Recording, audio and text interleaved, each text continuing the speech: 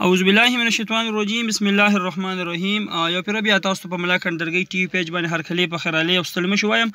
ګران اوریدونکو نن هم ډیر زیات خولي جابز راغلي دي او زلم غواړي چې اول د خپل خويند سره د خپل خوګو رونو سره او د پښتنو مرګرو سره شیر کم دغه نه مخکې که تاسو زموږ چینل سبسکرایب کړی نه وي نو کاینډلي زما چینل سبسکرایب کړئ د خپل ملګرو سره یې شیر کړئ او ماته یو لایکس راکړئ یو ماته کمنټس راکړئ ستاسو څه قسمه پوښتنه وي تاسو بالکل کولی شئ دا هم ستاسو چینل دی او ستاسو د وجې نه به انشاءالله زه کامیابېږم یو ورځ به داسې راځي چې تاسو ته به زه ښایم چې الحمدلله موږ کامیاب شو او زه امید کوم چې زما د دې خبرو خبرو سره زما د دې محنت سره تاسو هم د دې نه فایده واخلئ بس صرف په یو شرط باندې چې تاسو به خامخا ما سبسکرایب کوئ د خپل ملګرو سره دا جاب شیر کړئ چې ستاسو د وجې نه بل چاته هم څه فائدہ وشي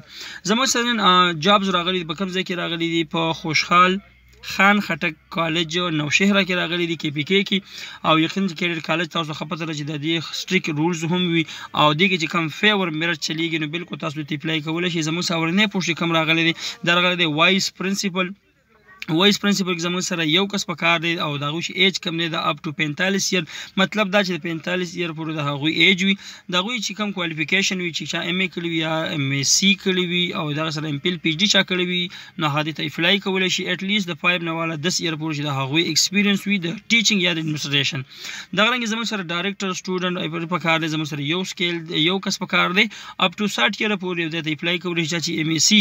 ایجوکیشن کړی وي فزیولوژي کړی وي یا بیهیویر فزیولوژي کړی وي د پانه والا 10 یره پورې د غو ایکسپیرینس وي هغه د ته اپلای کولی شي دا غني زموږ سره لیکچرز دي کم دي میل فیمیل دي زموږ سره هغه خويند چې د کوم خويندو سکړی وي هغه تاسو ته زویم چې چا ایم ای کړی وي ایم ای سی چا کړی وي ایم پیل چا کړی وي او هیوینګ اټ لیست 3 اور 5 ایکسپیرینس وي دا د هر چا وي د هر خور د هر رور وي چا چې میتس کړی وي بایولوژي کړی وي فزیکس کړی وي کیمستري کړی وي کمپیوټر ساينس کړی وي انګلیش کړی وي اردو کړی وي پاک سټډي کړی وي اسلامیک سټډیز کړی وي هغه خويندې هغه رونه دې ته افلای کولی شي دغه زموږ سره ټریننګ انجټ جسټکس خدای ذهن له کار پرې خو زموږ سره یو غز دا هم غواړي چې ایم ای کړی مې سی کړی ایم بی ای کړی او هغه هم د یو ریټایر فورس نه یعنی د سو د ریټایر وینو ها کسان دي ته اپلای کولی شي چې ارمی ریټایر وی هغه دي ته اپلای کولی شي